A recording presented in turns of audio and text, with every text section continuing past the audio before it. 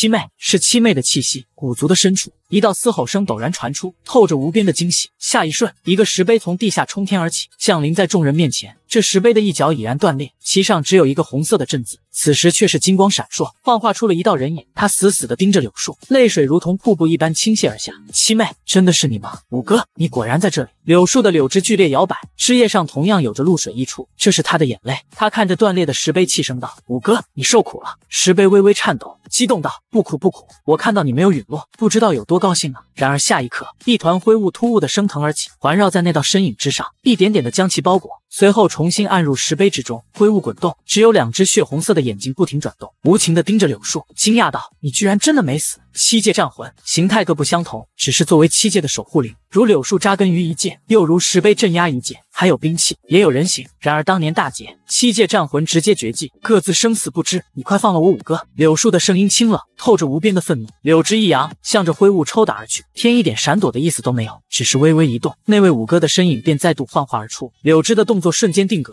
天戏谑的笑道：“劫劫劫，打呀！怎么不打了？看看谁最疼！”那五个顿时就急了，催促道：“七妹，你不用管我，我早已是必死之人，能够拖着这个天一起陨灭，就是我最好的归宿。妈的，你们当我是死人吗？”武辉感觉自己受到了侮辱，他看着那株柳树，眼眸中金光闪烁。远古战魂是吧？就让我看看你究竟有多强。若是让我吞了你，说不定可以突破新的臂障。话音刚落，他便猛地抬手，对着柳树狠狠一抓，当即整个第一界的空间都随之收拢，就好似变成了骨灰的大手，共同禁锢柳树。不过柳树却是丝毫不慌，周身环绕着绿光，枝条微微一摆，顿时化为了无数边影，向着骨灰抽去。强大的世界封锁对他来说似乎没有半点作用。来得好，万火归元，骨灰再度抬手。无尽的火焰狂泻而出，足以点燃世间一切，转瞬便将抽来的柳枝给统统淹没。然而，纵使在如此火海之中，柳枝居然依旧不灭，狠狠地抽打在骨灰身上，甚至还有树根直接穿透他的身体。骨灰身上遍体鳞伤，但是却一点血液都没有。紧接着，他的整个身躯居然全都幻化成了火焰，在柳枝上熊熊燃烧。燎原之火瞬间蔓延，沿着柳枝飞速扩散。同一时间，另一处虚幻的空间微微一荡，骨灰从中显化而出，抬手对着柳树一指，威严道：“苍穹裂！”话音落下。柳树所在的那片空间立时破碎，空间裂缝无数，就连空间都被湮灭。然而，纵使空间湮灭，柳树却依旧不灭。一根根柳枝同样穿梭了空间，毫无征兆的来到骨灰身后，将其洞穿，随后撕裂，骨灰的身形湮灭，又自空间中重组。恐怖的威压让天空都低垂下来，一拳向着柳树轰击而去，整个第一界都在随着他们的交手而震动不止。苍穹之上的虚空成片成片的湮灭，如同一个个镜面一般，不断碎裂。七妹小心啊！石碑也在颤抖。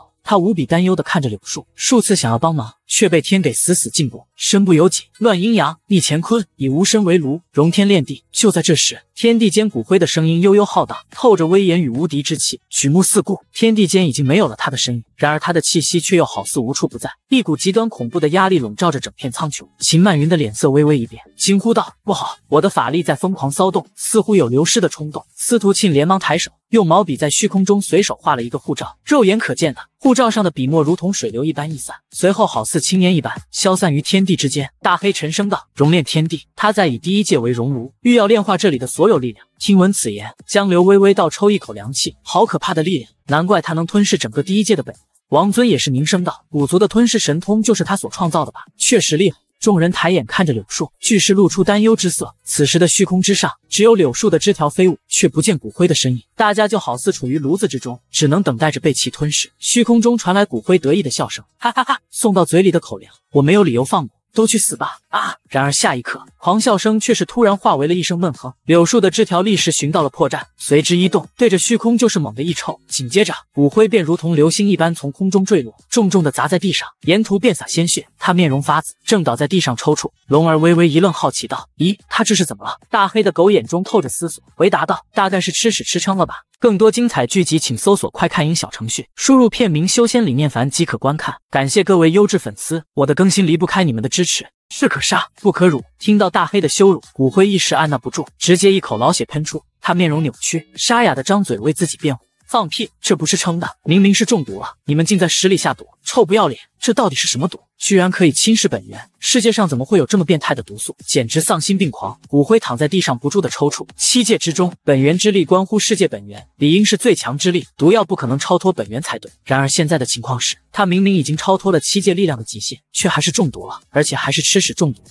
这简直就是七界第一大笑话。如果可以，骨灰甚至想把所有知道此事的人统统灭口，太他妈丢脸了。这时却听大黑平静的开口。这世上没有什么是不可能的，如果有，那就是实力不行。对于此事，他早就习以为常了。主人最擅长的就是创造奇迹，让骨灰中毒，这算个屁啊！王尊也是语重心长道：“小骨啊，虽然说你的实力确实不弱，但是眼界可不如我们，终究是弱小限制了你的想象啊！”什么？小骨？骨灰再度喷出一口鲜血。妈的，一群蝼蚁竟敢直呼自己小骨，简直是杀人诛心！哇呀呀，我要你们死！他双眸赤红，当即摆出了拼命的架势，整个第一界也随着他的力量开始不断轰鸣。然而任由他再怎么发怒，到最后终究是变成了虚张声势，嘴里的鲜血好似不要钱一般，连续喷涌，直接进入了贫血状态。却在这时，他的耳边一团灰雾无声无息的浮现，缠绕其身。天的声音随之传出：“武辉，看来如今的局面有点不妙啊！让我掌控你的身体，帮助你把他们统统杀掉。”武辉的脸上露出挣扎之色，眼神不住的变化。他与天做交易，内心一直都很清楚，这就是一场博弈。不过他自负可以掌控一切变数，同时对天也一直都有防备，却不想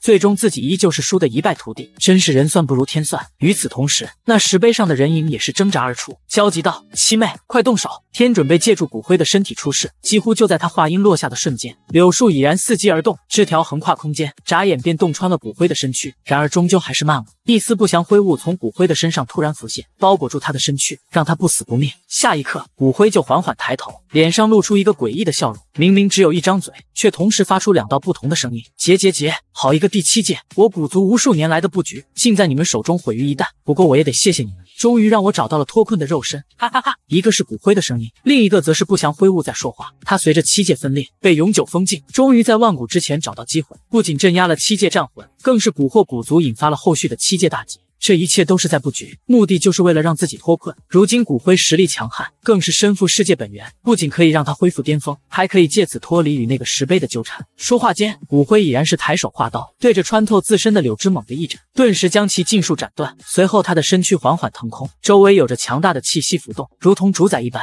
在他和石碑之间，还有着一丝丝灰雾正从石碑中脱离，不断向着骨灰的身体汇集而去。休想跑，给我镇压！那个石碑疯狂颤抖，其上的阵字散发出极致的。血色光芒，骨灰低头看了一眼石碑，嘲讽道：“当年你能在最后一刻镇压我，如今早已是强弩之末，别痴心妄想了。”说罢，他便猛地抬手，隔空对着石碑就是一掌拍出，轰隆隆，石碑顿时被打出了一个深深的掌印，周身也震开了无数裂痕。五哥，柳树的枝条舞动，笼罩住整片天空，狠狠地向着骨灰抽打而去。骨灰冷冷一笑，再度抬手拍出一掌。强大的力量将所有柳枝统统震散，他似乎还没有尽全力，淡然的笑道：“无数年的谋划，一招得以实现，万元归一，祭炼无声。”随着话音落下，他的周身开始笼罩上一层奇异之力，紧接着界域通道一阵扭曲，王腾和司德快三人居然也从第四界来到了这里。之前他们用献祭之法。打开了第一界的界域通道，换来古族之后便不知去向。此时却是突兀的出现。不过他们三人的眼神毫无波动，周身同样有着灰雾环绕，就好似木头人一般，被人控制着向骨灰接近。不好，他们想要合体，赶紧阻止他们！柳树和大黑等人一同出手，各自施展神通，要么成功阻止三人，要么将他们直接抹杀。然而骨灰却是大手一挥，便将众人的神通尽数挡下。随后就见他抬手按在了王腾三人的额头之上，嗡嗡嗡，一股股本源之力从三人的身上溢散而出，全都涌入到骨灰的。身体之中，秦曼云的脸色顿时大变，惊惧道：“天啊，他是在集齐七界本源！”王尊也是沉吟片刻，已然看穿了事情的始末，沉声道：“所谓的天被那块石碑镇压，两者纠缠不清。天想借助一个肉身脱离石碑的封印，因此才培育出了骨灰，同时暗地里还在其他界收集本源，从而使自己的本体再次降临。”司徒庆若有所思道：“我大胆猜测一下。”这个天的本体肯定不会一般，大概率是需要集合七界本源于一体，所以才布了这么大的一个局。江流不由得叹息道：“哎，古之一族也算是超级大族，骨灰更是精彩艳艳，到头来却不过是一枚棋子，终究还是为他人做了嫁衣。”众人的心头都越来越沉重，不仅震撼于天的算计，同时又忐忑于他的实力。王腾三人分别收拢了第四界和第五界的本源，再加上骨灰身上原本就有的第一界、第三界和第七界的本源，已然是汇集了五界本源于一身。天的力量在其体内不断奔腾。骨灰的肉身也出现了一丝神秘，可以让更多的不祥灰雾进入，成为天的最佳容器。一股股气浪从他身上浩荡而出，虽不见他有什么动作，却是将柳树的所有攻势都统统阻隔在外。哈哈哈！我马上就可以再次降临，回来了，我彻底回来了。只待我整合七界，这个天下就依旧还是我。骨灰仰天狂笑，他作为天，实在是憋屈了太久太久，只敢借助古族将灰雾散播于七界，小心翼翼的谋划。一点一点的收集本源，如今终于可以粉墨登场。来自第七界的蝼蚁，我会让你们好好见识一下天的真正力量。还有你们这些战魂，你们身上有令我厌恶的气息，若非你们，这片天地将一直会在我的笼罩之下。都去死吧！话音落下，骨灰便抬手对着柳树一指，刹那间，滔天之力化为旋风，开始向前肆虐。所过之处，柳枝统统被其搅碎。这是一股无与伦比的力量，一念即可颠倒乾坤，就连大道都要随着他的意志改变。他的实力早已经不可同日而语，而是直接跨越臂掌，成为了大道主宰。这个境界，就算是七界战魂的巅峰时期都不敢触其锋芒，更何况现在？轰隆隆！很快，这股力量便降临在了柳树身上。所过之处，树叶漫天飞舞，柳枝断裂，树干也是千疮百孔。此时此刻，柳树就好像是在狂风暴雨中的一棵普通树木，正在遭受着风暴的摧残蹂躏，随时都会湮灭。七妹，快带着你的人先走。危急时刻，那个石碑突然又从地底冲出，其上那个红色阵字迸射出极致光芒，同时还有着血液流淌，不断的从石碑中狂涌而出，显得极其妖异。无尽的红光笼罩而下，带着一往无前的气势，欲要以一己之力镇压骨灰。我们也一起帮助刘姐姐。龙儿的眼眸中带着坚定，毫无惧色的拿出勺子，开始施展神通。囡囡的小脸上满是不屑，指着骨灰大声道：“就算是天又如何？我这可是吞天魔功，刚好吞了你。”下一刻，他周身的吞噬之力便轰然爆发，化作巨大的黑洞，开始是不计后果的疯狂吸纳着骨灰的攻击。司徒庆则是手中的毛笔挥洒，脸上杀意沸腾，眼神亮如星辰。狂草，霸气，杀法，老天顺我，老天昌，老天逆我，叫他王。一句诗，狂傲无比。惊天动地，如同不死不休的战书冲天而起，锵锵锵，琴音如虹，自秦曼云的指尖弹奏而起，化为金戈铁马，无尽不屈的生灵，欲要与天激战。万古之前你已败过，如今也不过是再败一次而已。王尊左手奋捅，右手奋叉，义无反顾的向前冲锋。此刻他们逆天而行，却是爆发出前所未有的力量，神通浩浩荡荡，欲与天公试比高。呵呵，小小蝼蚁，口气倒是一个比一个大，找死！武辉冰冷的开口。刚刚他只是抬手一指，如今却是直接一掌拍出。他的每一次动作都很简单，但是威力却又恐怖到了极致，似乎抬手之间就能决定世间万物的生死。轰隆隆，手掌还未落下，无尽的压迫之感便已然降临，就好似普通人面对天塌地陷一般，巨大的压力几乎要让身子爆炸。这一掌落下，恐怖的风暴排山倒海。就连苍穹大地都随之扭曲，如此力量让囡囡等人深刻认识到了自身的渺小，所有神通尽皆无用，根本无法抵挡，只能束手等待着死亡的降临。就在这千钧一发之际，一根根柳枝却是突然出现在众人的身侧，化为了最后的一道屏障，将众人统统笼罩。同时，也有着柳枝来到石碑面前。将他浑身包裹，柳树的身上氤氲之光依旧不散，并且还在不断扩大。转眼间，根茎便已然从空中落下，并在地上扎根。随后，身躯更是化为了一株顶天立地的大树，巨大的树木撑天而起，为众人遮风挡雨。柳姐姐、柳神前辈、七妹、囡囡等人同时惊呼出声，他们俱是捂着嘴巴，眼眸中泪珠滚滚落下。他们无法想象柳树所面对的是何等可怕的攻击，甚至都不忍心去看，生怕看到那一片千疮百孔的凄惨景象。同一时间。四合院中，李念凡正带着妲己、火凤和小狐狸一起打理着后院。大黑身处前线，马上就狗命不保。李念凡却在家里带着三女勾栏听曲。此时他正坐在后院的水塘边上，左手搂着火凤，右手抱着妲己，美美的欣赏着院中的风景。抚琴的秦曼云不在，画画的司徒庆也不在，顿感少了几分高雅的氛围。至于小狐狸，则是被强行拉过来，临时顶替龙儿和囡囡的工作。她绝美的面容气鼓鼓的，显得很是生气。早知道就不化形了，变成人后就要被拉来干活。姐夫太坏了。小狐狸一边埋怨，一边小心翼翼地对着奶牛道：“牛姐姐，我帮你挤奶，千万不要踢我呀！”随后他就紧张地伸出小手捏了上去，然而因为用力过猛，牛奶瞬间窜射而出，直接滋了他一脸。啊！小狐狸顿时发出一声惊呼，原地跳了起来。这边的风景让李念凡尽收眼底，当即忍不住大笑起来。不过下一刻，就见小狐狸伸出舌头舔了舔嘴唇上的牛奶，立时眼眸大亮，宛若打开了新世界的大门一般。妈呀，天然牛奶也太好吃了吧！跟姐夫弄出来的味道完全不一样，各有千秋。李念凡见到这一幕，嘴角不由得抽了抽，只感觉那画面太美，别有一番滋味。妲己则是对着小狐狸道：“妹妹，挤好了牛奶，再去取水，把整个后院浇灌一番。”什么？还要干活呀？小狐狸还没来得及沾沾自喜，就又受到了暴击，眼泪都要溢出来了，哭诉道：“呜呜，你们虐待我！”李念凡笑着道：“行了，干完活以后，你去山下挑一头野味，做顿大餐给你吃。”真的吗？一说到吃，小狐狸顿时就不累了。开心道：“哈哈哈，姐夫最好了。”李念凡从小狐狸的身上收回了目光，继续欣赏着自己的后院。就在这时，他的眉头却是猛地一皱，愣愣地盯着潭水边柳树的方向。咦，怎么会这样？他起身快步走了过去，脸色也随之凝重起来。这株柳树一直生长在后院之中，前不久还好好的，怎么突然就有了要枯萎的趋势？绿叶泛黄，枝条无力，隐隐透着一股死气。妲己也是担忧的开口：“公子。”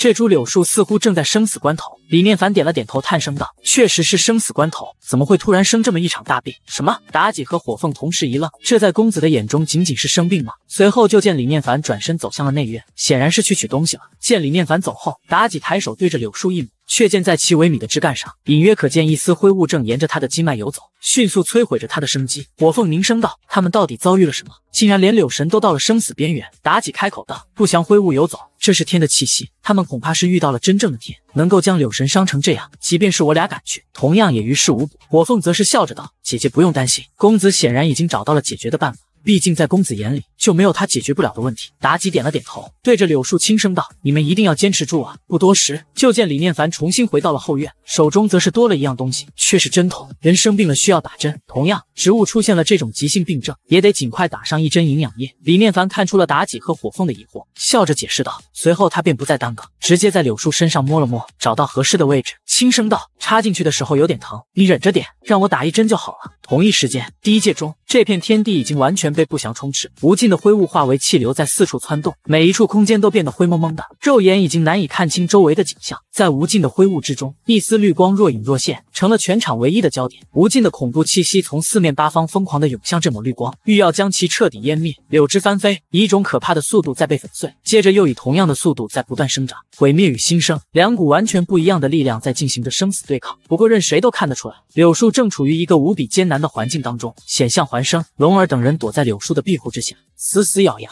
双目含泪的看着面前的场景，急得直跺脚。囡囡红着眼睛悲痛道：“柳姐姐，我们该怎么帮你？”龙儿则是呼唤道：“哥哥，快来救我们啊！”另一边，那块石碑之上，血色大字疯狂的流下了血泪，将整块石碑都给染红，悲痛的高喊出声：“七妹，你快退下，要死也让五哥先死啊！”柳树依旧立于天地之间，没有任何言语，用身躯抵挡着毁天灭地的风暴，身上的伤口已经越来越多，似乎随时都会倒下。哈哈哈！七界战魂的时代就此结束了。武辉得意的大笑出声，无尽的灰雾化为一个巨大的鬼影。发出嘶吼之音，于苍穹之上，向着柳树镇压而下。咔嚓，强大的压力直接让柳树巨大的枝干出现了无数裂痕。七妹，石碑狂怒不止，带着无尽的血芒欲要冲天而起，不过却被一根柳枝死死拉住。石碑微微一愣，又惊又喜。七妹，你这是？他满怀期待的看向柳树。石碑微微一愣，又惊又喜。七妹，你这是？他满怀期待的看向柳树，却见枝干的断裂处突然有着无尽的绿意涌动，就好似火山喷发一般，带着无边的生机。那处裂痕竟以肉眼可见的速度在不断恢复，同时柳树的其他枝条也都以一种不可思议。的速度狂狂飙，转瞬间便如同头发一般冒出。如果把此刻的枝条比喻成人的正常发量，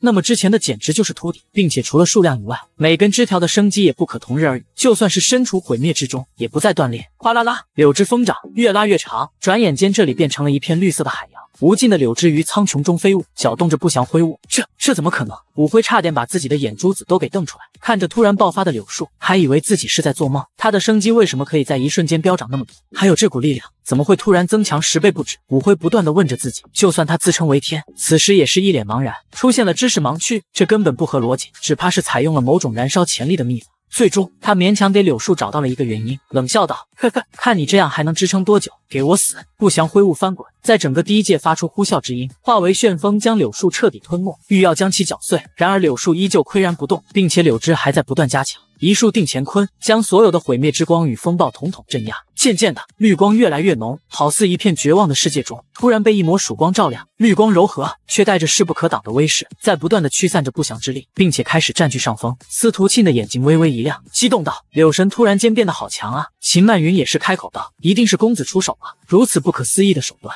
普天之下，只有公子能够拥有。王尊大笑道：“哈哈哈！既然是高人出手，那这一波就稳了。我刚刚差点都准备冲出去拼命了。”大黑也是长舒了一口气：“嘿嘿，我这条狗命总算是保住了。不可能，这绝对不可能！你怎么会有这么多力量，而且还越来越强？”武辉感到无比震惊，内心已经骇然到了极点。难道不是燃烧潜力？那他的力量究竟是从何而来？开挂，这绝逼是开挂了。到底是谁在插手此事？能够脱离天的掌控，也只有界域分裂之前。原界的那些人了，但是他们根本不可能出现在七界才对。武辉不断的猜测，感受着柳树身上越来越强的力量，而有些惊慌。就在这时，数道柳枝却是冲天而起，如同天地间的帘幕，向着骨灰飙射而出。我不信你会变得这么强，我是不可战胜的。骨灰眼眸一沉，狂吼出声，抬手握拳，化为惊天一击，欲要将柳树彻底轰碎。两股力量在虚空中对抗。突然，柳枝微微一荡，穿透所有阻挡，瞬间便冲到了骨灰面前，直接将其贯穿。啊！骨灰的脸上顿时露出了痛苦的表情，全身不祥灰雾晃动，似乎在艰难的挣扎。紧接着，其余的柳枝也快速甩动，将天地间的灰雾一扫而空，很快就让第一界重新恢复清明。囡囡等人立时欢呼起来，哈哈哈！赢了，柳姐姐赢了。那石碑则是迅速的来到柳树身边，开口道：“七妹，你没事吧？”柳树开口道：“我没事，咱们先把天给抹去再说。”哈哈哈！将我抹去！骨灰好似听到了天大的笑话一般，忍不住嘲讽出声。纵然是你们的前身，将远古大陆七分都没办法将我彻底抹去，你区区一个战魂，居然敢大言不惭，真是笑死我了。柳树没有说话，只是无尽的柳枝向着骨灰裹挟而去。然而骨灰的嘴角却是勾起一丝戏谑的微笑，身体毫无征兆的直接爆开，化为了无数的碎肉以及灰雾，飘散到世界各处。哈哈哈！我永恒不灭，这次只能说是小试身手，等我集齐所有力量。再回来宰了你们！虚空中有着天的声音回旋，随后空间就如同水流一般波动，荡漾起一层层涟漪。显然是天已经离开了。囡囡忍不住皱着小脸骂道：“真是个难缠的东西，凡人！”王尊则是道：“既然敢号称为天，恐怕真是古老的主宰，凌驾于一切生灵之上，自然难以对付。”江流也是感慨道：“万古之前可以封天裂地开七界，如此大的手笔，光是想想就让人心驰神往。”众人不由得将目光同时看向那块石碑以及柳树，敬佩不已。七界战魂正是那群封天之人不灭的意志所化，为守护七界和平而生，足以证明当初那群人是何其强大。七妹，我听说你的身体被第七界之人带走，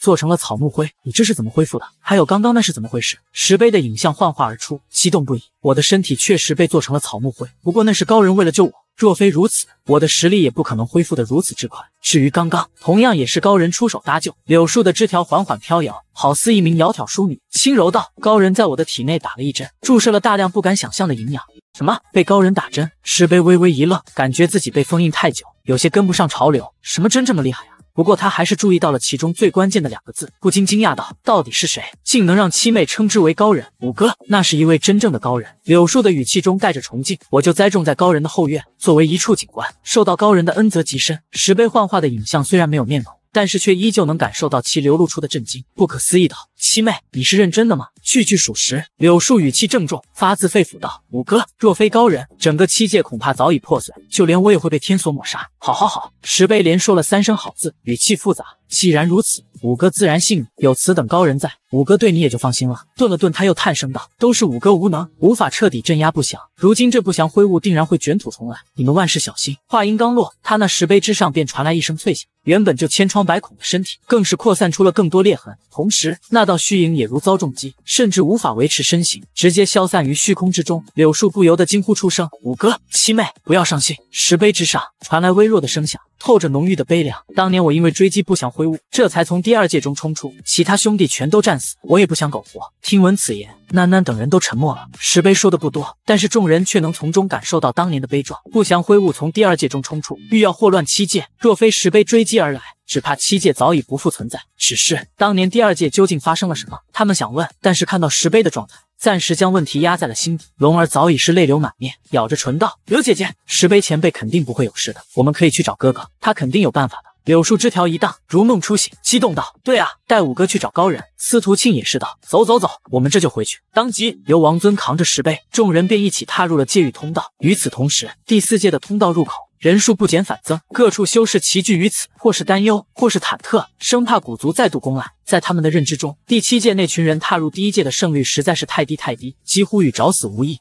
那群人属实太膨胀了，好好的日子不过，非要去第一届找死，你懂个屁！进入第一届，解决祸乱源头，他们的格局岂是我等凡夫俗子能比的吗？问题是他们的实力够吗？若是败了，五族卷土重来，我们谁能抵挡？众人都在诉说着自己的担忧，当然也有人推崇不已，对第七界那群人敬畏无比。而天宫的众人也同样没走，他们一同守在界域通道入口，排列整齐，面容肃穆的等待着大黑等人。除此之外，杨戬和巨灵神则是带着一众天兵在打扫战场。这时，巨灵神扛着一头巨型白狼的尸体走了过来，开口道：“这头狼妖的尸体非常完整，而且还有着大道至尊的修为，甚是难得，可以献给高人。”杨戬点了点头，确实不错，记得告诉大伙。被不祥灰雾沾染的妖怪绝不能要，被污染的肉质高人不喜欢。巨灵神连连点头，放心吧，这个俺知道。他们收拢猎物。就是为了等着囡囡他们出来，作为战利品带回去献给高人。自始至终，他们没有一人去询问囡囡等人能否归来，因为他们坚信一定可以。至于其他修士，自然不会有人去触天宫的眉头，更不敢跟天宫抢夺妖兽，有些还主动热情的帮忙。却在这时，一股股空间波动陡然传出，一些神识敏锐的修士巨是面色一变，纷纷看向界域通道的方向，那里有一股力量正在酝酿，不好，有人要从界域通道中出来，会是谁呢？到底是古族，还是第七界那群人？所有人的心顿时都提到了嗓子眼。既是期待，又是忐忑。下一刻，随着界域通道微微一扭，便见一条秃毛狗缓缓的迈过而出。他的身后，囡囡等人也是面带笑容的走出。快看啊，是那条穿着裤衩的秃毛狗，他没死，活着走出来了。还有第七界的那群人，他们真的赢了！不可思议，这群人居然平定了大劫，太了不起了！看着他们回来，我瞬间头皮发麻。浑身都起了一层鸡皮疙瘩，第七界实在是太强了！各位，大家快随我一起拜谢英雄凯旋而归！君君道人也是激动的哈哈笑道：“我就知道狗大爷出征，寸草不生，从无败绩。”女娲同样是笑着道：“能够伴在高人左右，实力自然不容置疑，眼界要放大一些，否则只会限制你的想象。”萧成风则是酸溜溜道：“哎，我们终究是编外人员，什么时候才可以正式入编啊？太风光了！”他无时无刻不在幻想，如果有朝一日自己能达到巅峰，到时再配上一句骚话，绝对足以美名远扬。接着，他们便一同上前，恭敬的行礼问好。这时，杨戬和巨灵神也带着野味走了过来，开口道：“狗大爷，这是我们特意收拾战场找来的几头野味，他们不仅实力强大，而且味道鲜美，甚至还有两头第二部至尊的妖兽，高人定然喜欢。”大黑点了点头，高冷道：“不错不错，你们倒是有心了，出来一趟，我们确实不宜空手而归。”随后，众人便不再停留，在所有人敬畏的注视下踏空而去，一直到大黑等人消失在视野之中，众人这才如梦初醒，将目光投向了通往第一界的界域通道入口。有些胆大之人更是忍不住踏入第一界中探明情况。另一边，大黑等人的速度很快，大道环身，伴随着空间扭动，已然是踏步进入了第七界之中，直奔神域而去。不多时，洛仙山脉便已经遥遥在望。同一时间，洛仙山脚下，小狐狸正蹦蹦跳跳的下山，来到圈养野味的地方。他眼眸大亮，兴奋地挑选着野味，这是李念凡对他的奖励。迎着小狐狸的目光，众多野味的内心都是微微一紧，一些心态不好的更是直接吓尿了裤子。来了，这一天终究还是来了。他们纷纷缩着脖子，努力减少自己的存在感。很快，小狐狸就做出了决定，对着三足鸭王一指，笑着道：“就你了，一看就很肥硕，炖汤一定好喝。”嘎嘎嘎！三足鸭王顿时一惊，整个身子都颤抖起来，泪水终于止不住的开始滴落。其他的妖兽则是纷纷长舒了一口气，一副还好不是我的模样。小狐狸安慰道：“别哭了，跟我走吧，放心，不会太疼的。而且做成野味也是一种造化，将来你到了地府轮回，绝对会有一个好的职位，前途无量。”三足鸭王站在原地良久。最终长叹一声，艰难的迈步而行，一步三回头，一副壮士一去不复还的样子。其他野味则是纷纷对着他行起了目礼，时不时还发出一声安慰的低吼。完蛋了，看来今日我是逃脱不了成为一锅汤的命运了。也罢，沾染了高人的仙气，大不了三万年后又是一条好汉。就在他自怨自艾之时，山下却是突然传来一阵脚步声，紧接着就见囡囡等人迈过而来。龙儿见到小狐狸，不由得惊讶道：“狐狸小妹，你在这里做什么呀？”小狐狸惊喜道：“哎呀，你们终于回来了，以后我再也不用挤奶挑水。”哥哥正让我来挑选野味做菜呢。秦曼云连忙笑着道：“挑选野味就算了，这次我们出去可是带了不少野味回来，这边的还是先放一放吧。”听闻此言，三足鸭王顿时一个机灵，兴奋的毛都竖了起来。在他眼中，此时的秦曼云周身都仿佛笼罩上了一层圣光。我的恩人，你就是我的再生父母啊！王尊也是点头道：“是啊，这里的野味毕竟还可以造粪，尽量别杀。如果都杀光了，我这个挑粪的工作可就没了。还请手下留情。”小狐狸开口道：“这样啊，那好吧。”此话一出，三足鸭王如蒙大赦，连忙撒鸭子狂奔回到野味去，就差跳舞庆祝了。而在王尊的背上，那块石碑也注意到了不远处的野味。顿时被他们身上的气息给深深震撼。所谓的野味，至少都是大道至尊，甚至还有不少第二部至尊，这可是妥妥的大手笔啊！咦，不对，在他们身上似乎还有着本源波动，这怎么可能？七界本源何其珍贵，他们是如何获取的？并且除了充当野味以外，还负责造粪，这又是什么意思？石碑产生了太多疑问。不过很快，他的注意力就被那个粪坑吸引，那是本源气息，怎么会这样？石碑脑袋瓜子嗡嗡直响，结合自己的目前所知，瞬间理清了一条思路。这群野味定然是被高人圈养。赐予了他们本源，甚至还让粪便中都蕴含有本源气息。同时，那位实力强大的王尊负责挑粪，而粪桶和粪叉也都是本源至宝。大手笔，这绝对是滔天大的手笔！这种为所欲为的姿态，已经远远超脱了七界的限制。他忍不住用神识问道：“各位，那个粪坑是用来做什么的？”喃喃开口道：“是用来给后院那些植物施肥的。我和龙儿就负责这项工作。”什么施肥？这又算什么？本源肥料吗？果然任性！众人继续向山上走去，很快便来到了四合院的门口。门虚掩着，小狐狸直接推门而入。李念凡惊讶道：“咦，这么快就选好野味了？”小狐狸回答道：“没有，是囡囡他们回来了，并且还带回了好多野味，我也就索性不选了。”李念凡当即惊喜道：“真的吗？他们没受伤吧？”下一刻，秦曼云等人便一同走了进来，对着李念凡笑道：“公子，我们回来了。”同时，他们身后还拖着好几头野味，顿时让四合院变得热闹起来。李念凡开心道：“哈哈哈，回来就好。此行还顺利吧？”囡囡直言道：“还行吧，解决了一个天大的麻烦，不过也留下了一点尾巴。”李念凡笑着点了点头，已经很不错了。凡事不可操之过急，慢慢来，只要人没事就好。秦曼云坚定道：“公子放心，我们一定会更加努力的。”李念凡则是摆了摆手，招呼道：“好了好了，累了一天了，都先过来坐下。小白，快去给大家泡杯蜂蜜柠檬茶解解乏。”天啊，这院子里的大道简直无法估量，空气中更是蕴含有本源气息。石碑就跟那些野味堆放在一起，正用神识打量着院中的一切。难怪整个第七界的本源如此浓郁，源头似乎就是这里。难不成高人真的可以创造本源？简直是不可思议，骇人听闻。就在他震撼之时，一股淡淡的柠檬香味缓缓飘来，顿时让他的精神猛地一震。除了香味独特以外，最重要的是，这味道中居然还蕴含有一股神异的气息，可以消除疲乏。滋养神魂，更是兼具疗伤奇效。石碑只感觉自己早已虚弱的身体，瞬间就得到了洗礼，逐渐稳定下来。不会吧，我这还仅仅只是闻了一下，便直接逆转生死？如果能喝上一口，那岂不是要上天？他感到如梦似幻，同时又注意到李念凡他们聊天，可以感受到其发自内心的平和与友善，这是一种如沐春风的感觉。明明身怀超乎想象的力量，却依旧心平气和。七妹能够跟在这等高人身边，我也可以放宽心了。此时，龙儿和囡囡一边品茶，一边在给李念凡介绍重野味的来历。哥哥，哥哥，那头白狼是噬月笑苍狼，喜好吞食日月精华，修五行大道，靠着目光便可施展五行神通，甚是了得。还有那边那头长着独角的狮子，是裂天金角狮，它的独角有着操纵大道之能，可施展毁天灭地的神通。还有那边那头，介绍食材，也算是享受美食中一个很重要的环节。食材越稀有，就越是让人心驰神往。此时的李念凡便是如此。龙儿和囡囡每介绍一样，他便暗自吞咽一下口水。虽说他也吃过不少妖兽，但修仙界中厉害的妖兽层出不穷。尤其是在听到他们都是称霸一方的凶兽，就更是忍不住口水直流。待到所有野味介绍完毕，众人的目光俱是不由得落在了那块石碑之上。李念凡眉头微微一挑，诧异道：“这是什么情况？你们为啥要背一块石头回来？”秦曼云开口道：“公子，我们见这石碑有些奇特，而且也有些可怜，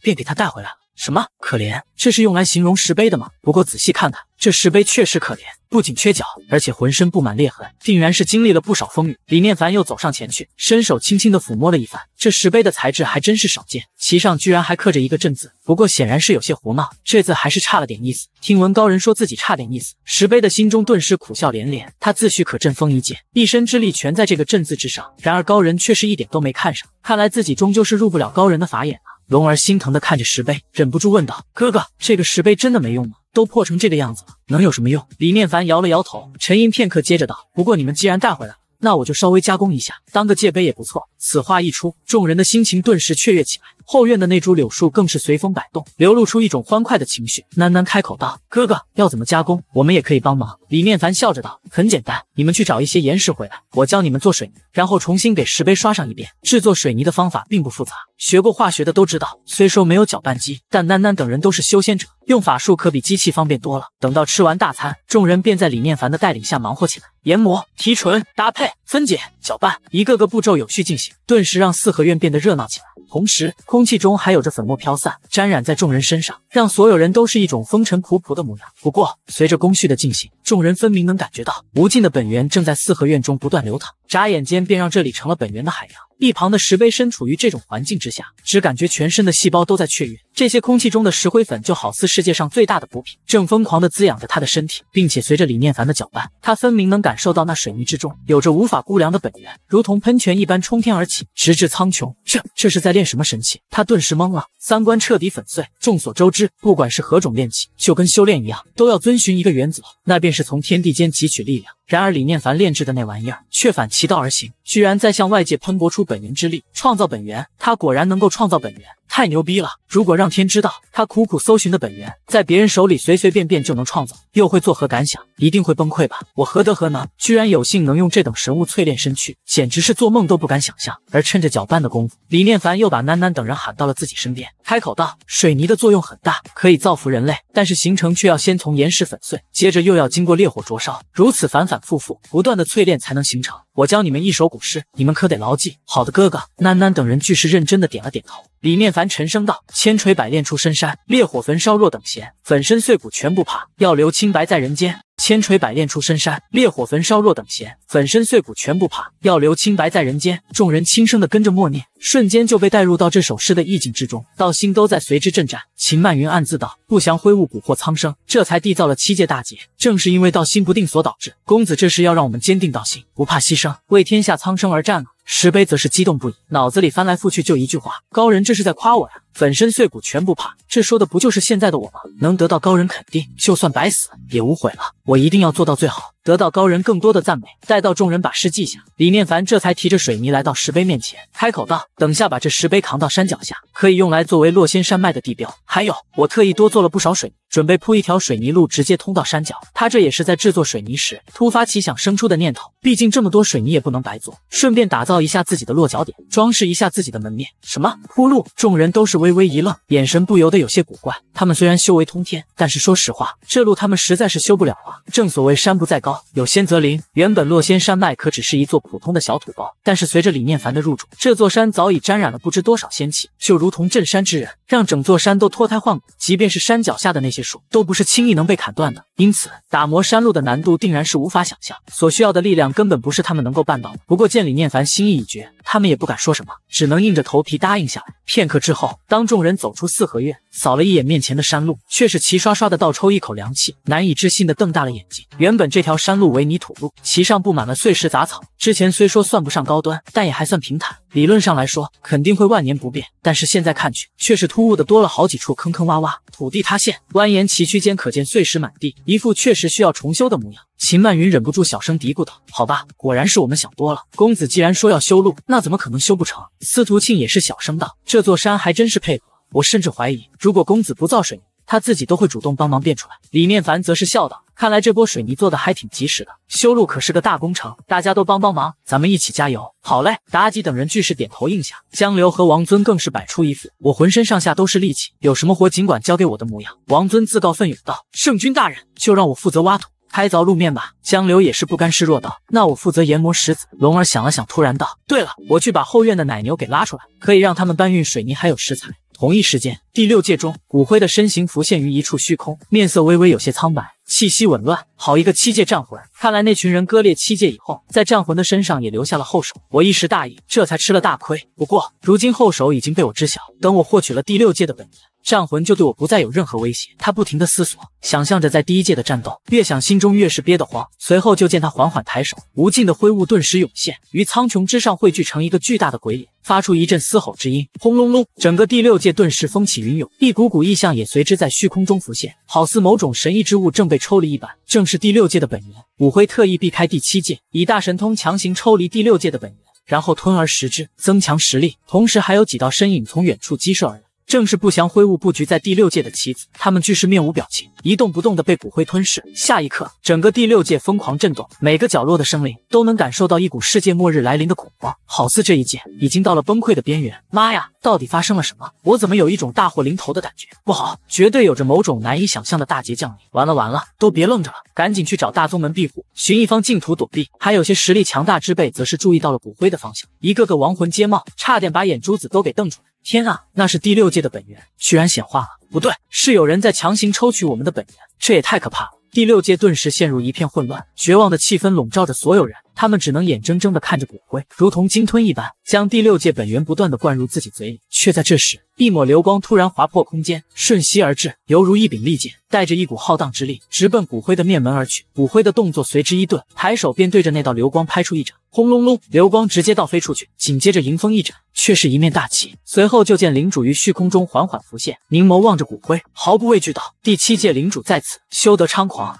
俗话说，仇人见面，分外眼红。一听又是第七届，武辉的眼眸当即一眯，一股暴虐气息随之轰然爆发，将四面的空间都震动得如同水波一般，更是有着无尽的威压，向着领主镇压而下。领主也是面色凝重，手握混沌旗，用力一甩，立时引动大道形成护罩，与骨灰的气势相抗。然而，纵使骨灰受了重伤，但两者的实力相差巨大，也不是领主所能对抗。仅仅是他的一丝怒火，便碾碎了领主的所有攻击，并将其震飞出去。骨灰眼眸中杀意暴涨，冷笑道：“呵呵。”你们未免也太小瞧我了。就凭你一人也敢来坏我的好事，看不起谁呢？去死吧！他抬手凝聚出无尽本源。化为一个巨掌从天而降，向着领主抓去。借一借星辰，阴阳逆乱，领主的眼眸中迸射出一丝光彩。全身的力量浩浩荡荡，不断的向着混沌期狂涌而去。这一刻，破碎的混沌期好似被补齐了一般，立于混沌之中，号令一界之力。整个第六界，星辰逆转，星光汇聚，化为天地之力，听从领主的号令，向着骨灰湮灭而去。呵呵，居然能借一界之力，了不起！骨灰点了点头，随后狞笑道：“可惜我的力量早已超越了一界的上限，你抵挡不住。”说罢，他再度抬手，一掌拍击而下。却在这时，一道道毁灭之光突兀的从远处激射而来，帮领主共同对抗骨灰。领主，就冲你帮助第六界抵抗大劫这件事，你我的恩怨一笔勾销。炎魔率领着独眼巨人一族大踏步而来，朗声道：“抵御大劫，我独眼巨人一族定然全力以赴。”紧接着，四面八方不断有着无数的神通，如同万千星辰一般，向着骨灰轰击而去。他们都是第六界的修士，真是烦人！蝼蚁还妄想弑天，既然如此。那你们都去死吧！骨灰的耐心已然耗光，怒火再度飙涨，抬手对着苍穹一指，低沉道：“乾坤皆灭。”下一秒，顺着他的指尖，一股极端恐怖的灭世之力轰然爆发，所过之处尽皆湮灭。这一刻，就连时空都被定格，所有人都发现他们的身子居然无法动弹，包括那虚空中的无数神通，也都是统统定格，如同烛火一般，一个接一个的熄灭。这下完蛋了，所有人都是心中悠悠一叹。坦然面对死亡的降临，他们已尽人事，没有什么好遗憾的。叮当叮当，突兀的虚空中传来一阵清脆的声响，声音并不嘹亮，但是却传入到每个人的耳中，让他们神魂皆颤，有一股奇异的感觉从心底升腾而起。叮当叮当，声音继续，虽不知来自何方，却回旋在世界的每一处角落。在这声音之下，一切神通尽皆消散。怎么可能？这声音难道是有人在修路？武辉瞪大着眼睛，好似想到了什么不可思议的事情一般，身体居然莫名的颤抖起来。他环顾四周，最终全身一震，眼睛死死地盯着虚空中的一个方向。那里，一条路径正在缓缓浮现，不知道来自何方，也不知通向何处。其上似乎还有几道身影，正手持各种道具，在努力的干活。居然真的有人在给七界修路，这是想将与元界隔绝的通道给接起来吗？骨灰难以置信的大吼出声：“不可能！七界中怎么会存在这等力量？这可是……”他的声音戛然而止，瞳孔猛地一锁，接着毫不犹豫地转身就跑。不不不，我不能死！面对这股力量，他居然连反抗的勇气都没有，不顾一切的只想活命。然而那股气息实在太过神秘，速度更是快到极致，瞬间便降临在他的身上。妈的，又来了，又来针对我了！为什么？第七界究竟隐藏着什么？武辉不甘的低吼。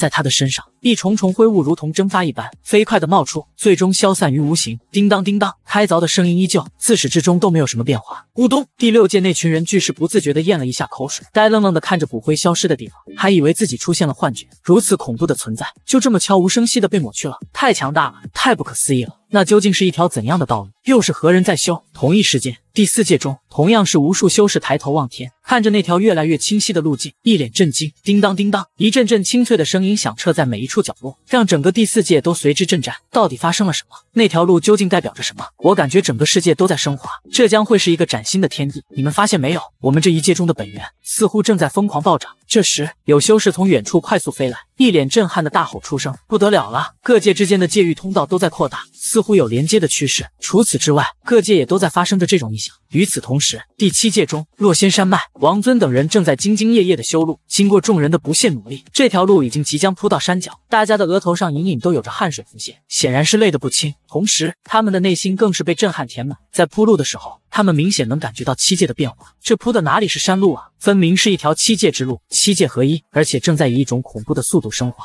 修仙之路定然也会随之变得更加广阔。高人就是高人，表面上看只是做了一件微不足道的小事，但背后的深意与手段却远远超乎了所有人的想象。这便是大佬的境界啊！江流却是好奇的对着石碑问道：“怎么了？看你似乎很开心啊！”此时的石碑已然被重新粉刷，镀上了一层水，并且其上的镇字也被抹去，由李念凡亲自刻上了“洛仙山脉”四个大字，就放在山脚处，充当洛仙山脉的地标。哈哈哈！石碑中传出一阵阵波动，激动道：“那个所谓的天，还妄想吸取第六界的本源，卷土重来！我刚好借助修路的机会，使用高人赐予我的力量，将其彻底抹杀，亲手报仇的感觉实在是太爽了。”江流诧异道：“哎呦，厉害呀！你居然单枪匹马就把天给抹杀了！”石碑骄傲道：“那是，毕竟高人苦心为我制作了水。”还给我刻上了新的名字，我必须得争气。囡囡则是无比好奇的问道：“对了，当年在第二届，你们究竟遭遇了什么？”这个问题正中所有人的下怀，大家俱是目不转睛的盯着石碑，等待他的回答。石碑先是沉吟片刻，接着无比沉重道：“我们虽然是那群人所化的战魂，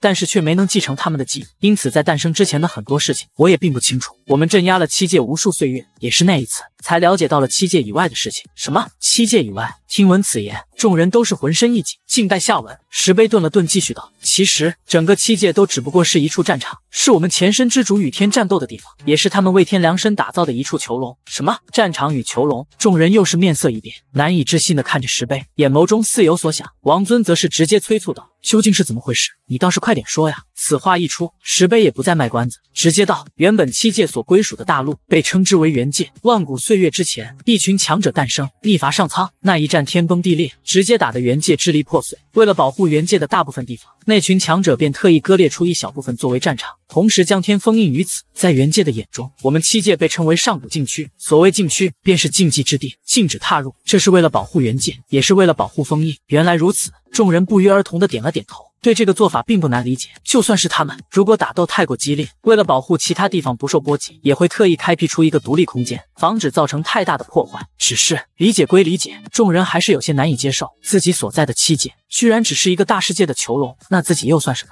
喃喃不屑地撇了撇嘴，切，元界很牛吗？我们的背后可是有着高人，他们有吗？此话一出，众人顿时笑了。就是七界有了高人的存在，说不定元界还不如七界呢。王尊继续追问道：“那第二界究竟发生了什么？”因为元界来了一群傻屌。石碑冷哼一声，强压着心头的怒火，继续道：“元界也被称为本源神界，其内的修炼上限可比七界高多了。在享受了无数年的和平以后，自然诞生了众多强者。不过有些人自诩强大，野心勃勃，做事不计后果，居然把主意打到了七界的头上。他们想要获得当年那群逆天强者所留下的力量。”甚至还想获取天的力量。司徒庆当即接口道：“所以他们降临到了第二界，企图寻找当年战场残留的一切，从而引发了后续的一系列事情。”石碑轻轻一叹：“是啊，天就是被那群傻屌给放出来的，并且他们还不思悔改，企图在七界为所欲为。我们兄弟几人为了阻止他们，索性将第二界给彻底斩断。七界之后将不会有第二界的存在。”听闻此言，秦曼云不由得冷笑道。先辈们用生命镇压了不祥，然而后人在享受到安逸的成果之后，居然为了力量而踏入禁区，并释放出不祥，当真是一种讽刺。江流也是低沉的骂道：“一群蠢货，就因为他们的闯入，而让我们七界遭遇了无数年的大劫。那群畜生当真是万死难辞。”这个时候，李念凡带着妲己从山上走了下来，他面带笑容，手里抱着一个箱子，其内放着一瓶瓶冰镇的快乐水，笑着道：“来来来，大家干活都累了，喝点快乐水解解乏。”砰砰砰！接下来。开瓶的充气声不断，众人一同品尝着冰爽的可乐。许是眯着眼睛，嘴里时不时还发出享受的呻吟声，爽到了极致。在众人的旁边，那个石碑只能眼巴巴的看着，心在滴血。他不停的在心中质问着自己：我他妈怎么会幻化成一块石头呢？好歹多个嘴也行啊！馋死我了！不多时，众人便喝完了饮料，巨石感到精力充沛，兴冲冲道：“圣君大人，我们感觉浑身都充满了力量，又可以干活了。”李念凡欣慰的点了点头：“大家都辛苦一下，这条路只剩最后一小段了，争取今天就把它干完。”